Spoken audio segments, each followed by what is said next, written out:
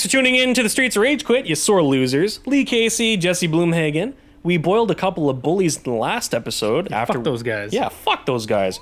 After we were discussing getting our asses kicked and doing some ass kicking, I think I would like to continue that topic of uh, scrapping around. Did you have anything else that you wanted to add? Yeah, so yeah, I, I told Caissie the name. He is he, he thinks he remembers the kid, but For the first time in like 20 years, I, I haven't I haven't had an inclination as to who this guy was for fucking two decades, but I, it does ring a bell. It does ring a bell. I think I know who you're talking about. I don't. I, but I don't remember his last name, so that doesn't help either. Yeah. Um, anyway, so what I also remembered was he was a grade lower than me, so I felt kind of bad.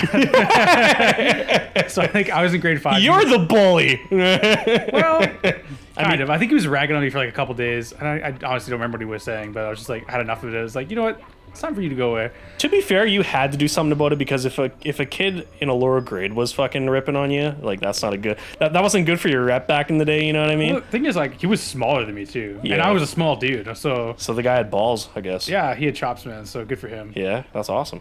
But I remember like, and the, the crazy thing too is like an elementary fight doesn't really, really mean much because I, I remember like literally like a week later we were like kind of homies. We were- Yeah, exactly. That's, that's Like, what happened. really Like, didn't make mean much. you fight on the playground and that's it. And you know what? Here's another reason why I wanted to continue this uh, this story.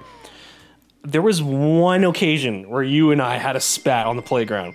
And I, between each other. yeah, between you and me. And I remember this. I feel like there must be more. I no no, it was just one. And I remember this because of because it was it was hilarious. You know, we made a, such a big deal that we oh. I remember. I remember the spat. we fought for like the first time in like I, I, ever. It was like from I think K to grade four. I think we started we fought in grade four, or grade three. Either way, we were friends for a few years before any of this ever Can I happened. guess what it is? you can guess what? Yeah, you can guess. Because I think we talked about it already. We fought over. We fought over who got the money for the comics, right? No, that's not it. Oh, I don't. I don't even consider that a fight. Okay, then continue We on. were fighting because, like, from kindergarten, we actually discussed this in the pilot episode. From kindergarten to grade six, like, we oh, would always play like Sonic on the playground. And I think for I think one time you wanted to be a different character because, like, you Oh, would, yeah. you would always play as Doctor Robotnik, and I would always play as Sonic on the playground. That's just what it was. And I think one time you wanted to be like Knuckles or you wanted to play Sonic, and I'm like, no, I want to play. I want to play as Sonic. Like I'm always Sonic, and you're like, yeah, but that's why I want to play Sonic. And like we got into a fight, and then we're like, fine, I'm not playing with you on the playground anymore. And then like, and then by the end of the day, like by the time it was like the after school bell, we're like, I'm sorry, and we're like, yeah, like we'll play tomorrow. And then like we just resumed as if nothing happened. yeah, that's how it is. That's all playground fights are in elementary, man. And I'm pretty sure like I invited that kid to my birthday party like that same summer and he came. like, like, like that's how that's how meaningless it was. Yeah, man. Yeah. We were just so innocent back then. Like we didn't hold grudges or anything, you know? Yeah, man. yeah it was a good time. I mean, like, yeah. Obviously, didn't hold grudges. We're playing with each other right now on fucking Dude, Streets of Rage I Quit. mean, you know me. I'm like probably the most chill fucking person there is. yeah, man. Like, it's just like nothing usually phases me. And like, I remember something that a teacher said. I can't remember who it was. I think it was a grade two teacher. If you remember who it is. Um, the reason why I'm so chill is because she's like, you listen, if you're not dying and someone close to you is not dying, what the fuck is the problem? Like, you know, like what what's there what's there what's there really to be angry? That's true. And you know, I'm like, you know what? That's true. that's such chill advice for elementary. And I'm like, I'm seven years old. I'm like, no one's dying. I'm not dying. what's there like? What's to be mad at? Like, you know what I mean? what a wild fucking way to learn, you know? And ever since then, I'm like, I mean, don't get me wrong. There's gonna be a point in time where I'm dying, but I'll, I'll cross that bridge when I get there. Ah, won't we all? Yeah. yeah, Hopefully not for many, many years. that's fair, man. That's fair. And speaking of, oh my god, okay, I'm gonna go down a little bit of a rabbit hole here. Let's do it. I, I've, I've, I have a huge fear of dying. You know, what I mean? Really? like, eh, like that's my that's my only fear in life is is dying because like I don't want to, I don't, I don't, I don't, I don't want the lights to be out. You know what I mean? Fair. I'm scared of, of no afterlife. Wow. But like, Interesting. Over, the past couple of years, and I don't like getting religious. I've kind of come to terms into like what I feel like the afterlife might look like, and I feel like it's, I feel like I feel like there's something there, and I can't quite explain what it is. Sure. But like, you have to think of all those generations of human beings and what they've left behind for us to discover. All of them have indicated that there's some sort of spiritual life or ghost life. Absolutely. I yeah. So I, I, I believe that something like that will happen to me when I die, and that's kind of give me a little bit of peace and a little bit of uh, comfort. yeah. Because the longest time, dude, I don't fucking die, dude. Well, I don't think anybody It's wants scary to, to, think but about the fact that you just lights out. Like there's no, there's no existence, man. Like That's that. That is fair. And you know what? memory's gone. Yeah, and I'll give you props too. You know, like discussing, you know, religious or you know religious beliefs or whatever it might be on the channel is it's a don't get me hard thing wrong. to do. Yeah, and don't get me wrong. Like I, I, don't- I, I'm not saying I don't believe in other religions and stuff, and they have a place in, in, in life, and that's great. Like everyone, that's the thing is like there's a path somewhere. Right. I don't have the answer to it. I don't. I don't know if anyone has the answer to it. Nobody has the answer until we until we know. We'll know once we know. And, But I believe there's something there. And like I said, it's just there. Oh, I made that. There's so many things that point to something being there because of the way that previous generations have left for us to find. Yep. Like that kind of stuff's been since like Egyptians and like uh, even before like like BC, like whatever that's called. You know what I mean? Yeah, absolutely. Well, no, I. Oh wow, I just flew right into Dude, that. That was fucking clean, clean, bro. Bones. Fuck yeah. I am on. I'm on the same page with you, man. I, a lot of people are adversarial when it comes to science and religion, but you know, I'm not a religious person. You know, I, I let the fact speak for itself. I'm, you know, I love science. I love space, but I, I'm also mystified by a lot of the the cool things that are out there that, that are inexplainable. So for me, it's like religion and science can go hand in hand if that's your belief system. I think for me, it's uh, you know, coming to ter- terms with my own mortality is is a big you know it's it's a it's a big question of like how am i going to feel when the time comes? And you're never really going to know until that time actually does happen. And you know that's something that i won't be able to explain until we hit that day but what i can say is that i truly feel like there is something out there because you know whether whether we're in a friggin' matrix system or whether you know somebody of a higher power created us or you know we're just here for the sake of it you know out of all of the out of all of the friggin' um, th- the ratio of like people who weren't able to experience life to people who actually were conceived, the fact that we're here in itself is a miracle. In my personal opinion, it's like the fact that we won the lottery of birth far exceeds the fact that we don't exist. So I feel like there has to be a reason why. We don't know what the reason is, but Even- we'll get there when we get there. And even deeper, think of it this way: is like to have this amount of cognitive ability to, to have this kind of thoughts and and to be able to like carry on our life. Right. You know what I mean? Like that's insane. Absolutely. No other uh, organic being that we know of. I don't get me wrong. I believe in aliens, but no other organic life that we know of can do that It's true. Absolutely. to the level that we do. Like, Well- there's some animals that are super fucking smart, but like No, I, think, think about what the what the human race is actually able to do. Yeah, well, yeah, I agree with you because like it's like, you know, there's a not not to say that you know we're above the ecosystem or anything, but there is a huge generational gap between like the smartest mammal and then us, right? It's like it's it's insane that like what we can do compared to animals in and of itself. So that kind of tells me or leads me to believe that there was like some divine intervention somewhere, you know. And it's interesting because like I watch oh god damn it, I watch all the the, the crazy tinfoil hat stuff um, like ancient aliens and stuff like that. And I remember one theory that they had was it was super cool to think of, but it's like, what if there was like a missing like you know um, genome or something, a part of our DNA where it was tampered with in the ancient times, and you know it was like the aliens kind of giving us a boost of like this is what you need to do to um like i guess like supersede the expectation of what civilization is for you guys. You just need help getting there so we're jump starting it for you right?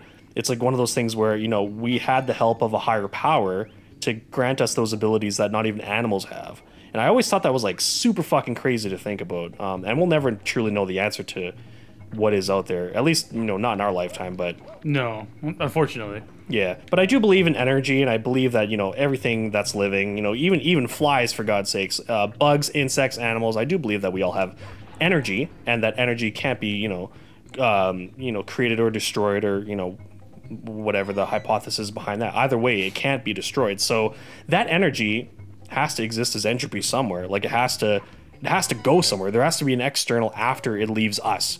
You know, because to think that we're alive and we exist and then all of a sudden we don't there's no existence i feel like that's not possible because we're already alive mm-hmm. right it's not like okay we didn't exist thousands of years ago and then you know we were conceived of and now we exist it's like the energy was created so now that it's created we cannot be destroyed it'll just be transferred to something else so if that's like another plane of existence that'd be kind of cool Yeah, and that's kind of like where I was going with it. Like they, we have to go somewhere. And, exactly like yeah I envy people like that can accept death at some point in time because it's like, man, how can you? Like, I mean, I would miss all my friends and family. You know, being able to interact with them and, and see their memories, yep and like to be able to like carry on in some sort of like world beyond that, whatever that looks like. I I'm I'm optimistic. I mean, I like to think I would be. Well, it makes me sleep at night a little better. That's for sure. Absolutely, man. It's one of those things where, you know, we don't know the answer, but you'd be surprised what that answer would be. I like to think of the body as like a cocoon. So, you know, when we're a baby, we're the caterpillar. And then when we're in our adulthood and we're accepting life, we're in the cocoon. And then by the time we reach death, we're the butterfly, you know, like we break out of the cocoon. Mm-hmm. And then, you know, because the caterpillar doesn't realize it's going to become a butterfly. It just goes by a natural instinct, right? It just does what it needs to do and then it just exists as a butterfly after. So I personally think that even though that's a weird way to describe transformation, it, like it, it- it's possible. Like it's possible to change into something else that you don't even realize is a thing. Yep. You know? And like stepping back a little bit when we talk about things that are unexplainable. I mean, like I've had my experiences. Maybe we'll talk about them in another episode. But Yeah. there's just so many of those things that like you, the more people you talk to that are open to that, the more you hear about their experiences, and you're just like, well, I'm not the only one. I'm not crazy. You know what I mean? Like I agree. I know what I know what I saw, and I know what I can't explain. Yep. And I know a few people like that too. I actually dated a girl who died, and um, and no, I'm not a necrophiliac, but she she had a like you know I'm respect her privacy and stuff, but she had a near death experience, and she she talked to me about it, and she was very uncomfortable talking about it because she didn't want people to think she was crazy.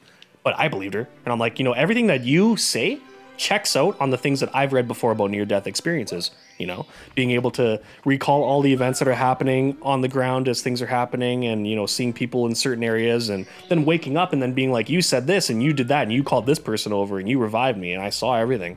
You know, and I felt everything, I experienced everything, and it's just it's mm-hmm. something you can't put into words. Mm-hmm. And I've read a, I've read a couple stories of people who you know those people that are like medically dead but then come back. Yep. I've heard or read, I should say. I've yeah, I've read some stories where like they've they've had similar situations where they've left their body or they'll have like their entire life flash before their eyes mm-hmm. or something like that. But they're like they're like it doesn't go black. Yeah, it just it never fades. Like it's, I think for a split second, people. Sorry, some people have said it goes black, but like there's a, a few people that have said like no man, like that's not how like that's not how not how my experience was. Yeah, it's it's the transfer of energy. So it's like you know you might not like you might experience nothingness for a second, but it's like you know after the black there's something else. You know what I mean? Like there's not like there's a fade, but it's like it doesn't stay. You know. yeah. And yeah, I guess diving from one serious topic to another, you know, I'm going through a situation right now where like my father, I don't even think I even told you about this yet. So You've you feel in quite a bit. I filled you in a little bit, but like there's more updates with my father. So he has to come to terms with his own mortality soon because he has, uh, according to the doctors, he has less than five months. So he might not even make it, you know, to the end of this year, which is unfortunate because as of recording, we're in October. He told me this at the end of August. So that's already two months. Mm-hmm. His birthday's on Christmas Day. So, like, if he doesn't make it, you know, to the holidays and stuff, that would really suck and that would be really unfortunate. But we had to have that conversation over the phone where it's like, hey, son, like, you know, I have no money. Corona is happening. We can't fly you out for you to, for the funeral, you know? And we had to have that conversation. It's just like, you know, discussing what I have with his girlfriend, um, who's been with him for about as long as I've been alive. She's such a sweetheart. She's like a second mom to me. I had a conversation with her too, and it's like, you know, your dad is, uh, you know, accepting his mortality, and you know, there's there's things where you know, we we both wish there are things that we could have done in that life together, and you know, trying to come to terms with what you haven't done in your life is is a, is something that I can't even describe because I'm living my life right now. But when you come to the end of your life, it'll be interesting to think about what things that I wish I did differently or the things that I wish I was able to do. And he's having that regret not being able to be with his son a lot. So I had to remind him. I said, "Man, you've been the best uh, influence to me in my life. Uh, You're the you're, you're honestly like the strongest man that I know. Like no joke. This guy, he has done so much for me. He's he's remained positive right to the bitter end, and he's going to. He's like, even though I'm dying, I'm still gonna fight, and I'm still gonna try to live my life, and I respect the hell out of that. And uh, yeah, we just had a conversation a couple days ago. Like he's in hospice care, and you know they they set up the hospital bed for him at home so he can you know pass away peacefully. And um, I know he won't get mad at me for talking about this because it's a real thing, and it you know it, it's it needs to be discussed. And, and you know when the time comes, people aren't going to be thrown off guard. Like, hey, you know, are you okay? Because it's like it's one of those things where like I'm going to talk about my father who passed away, right? Mm-hmm. And it's going to happen, but it's important to like keep people in the loop, you know, especially with the people who, you know, you love and care about, and just remember that that time comes for everybody, and you just don't know when. I I lived a point in my life where I thought my mother was going to pass away, and uh, she Still fighting, man. Yeah, she's still fighting. Oh fuck, I fucked that up. uh, serious combo. That's okay, dude. um, yeah, so this is good. yeah, man, it's just one of those things where you know when I came back to Edmonton in 2015, my mom was uh, on her deathbed. She was in a coma, and we didn't think she was going to wake up. And the doctor said, you know what, she's out of it. Like she has a she has blood pressure lower than an infant right now. She's not going to make it past the night. So she's a religious woman. We we gave her her last rites through the the priest, and then. You know, in the morning after we were divvying up her stuff and like what we were gonna do with everything, she woke up. You know, it just wasn't her time. It wasn't her time. That's right. But you know, the stuff that she told me that she saw when she was, I guess, under and you know dying. You know, I even though she's a religious woman and she kind of has her own beliefs, and you know, we we rag on her all the time. You know, there is some stuff that holds credence in my personal opinion, even though I'm not religious, and I won't ever deny her of her experience that she had when she was under. Right? Which, which is fair, man. Like that's not Like that's not how your experience, right? Exactly. How could I? That'd be ignorant of me. Yeah. So the fact that we're living in a time where my father may very well pass before my mother is oh fuck. It's it's ah shitty. and it's also shitty that my parents are gonna die. Yeah. Um, but yeah, it's just one of those things, man. You just never know when you're gonna go. So you have to make the most of it. yeah. You know, it's it's it's such a crazy Yeah. thing to think about. And I try to keep that mentality as much as possible. I mean, like, Uh, our age, that's not something we should be thinking about, really, at, at this point in time. But I mean, like, it, it, it is in the back of your mind, right? Yeah. Like, People are gonna die, man. we're not young, but we're also not old. Yeah, people I have mean- died in their 30s, you know. Fuck, I could be gone tomorrow. And then I hope you guys enjoy this. hopefully, hopefully I can put this up before I die. I'm not planning on dying anytime soon. The odds are in your favor. That's true. I do I do feel like an old bastard sometimes. I feel like an old bastard when I can't fucking do this. And I've played this for like 20 years of my life. Um it- it's just one of those things, man. You know, whenever we go is whenever we go, but we got to make the most of it. Even though the world fucking sucks right now, objectively, you know, like you try your best to do your best. You know, I don't think like people wake up, you know, every oh fuck, I'm dead. See, I just died. That was my life. I don't think people wake up every day and they just say, "Well, how how am I gonna fucking have a shitty day?" Like nobody says that, you know. So you just gotta make the most of things. Yeah. And because I just died there and we weren't expecting death, I think that's it. Okay. I think that's the We'll episode. leave it at that. But remember, you always have a brother right here. And you too, man. We'll take fucking care of you, no matter what happens, Kat. Appreciate fucking it, man. Love you, and I love you too, man. That was serious shit. this is a deep was, episode, so let's let's end it there. That was really good, and I got your back too. Always. That's we've been, sitting here for fucking twenty seven years. Where Yeah, where else would we go? You know. It'll never change. It'll never fucking change. Yeah. Well, thanks for tuning in, guys. Shit, that was Yeah. wild. That was a religious experience in and of itself. you got anything to add? I guess the outro. Yeah, I got nothing to add, man. Just We're checked out. It's time to go get Subway. like and subscribe, man. I mean, everyone out there, if you have any experiences, let me know. Um, I'm always I'm always curious to, to hear everyone's story, and you know, don't be afraid to share. And if you do, um, we'll find a way. Yeah, share your experiences with us, guys. We love to hear it. Just take care of yourself, and we'll see you on the flip side of the street to the rage quit. We will. Peace out, guys.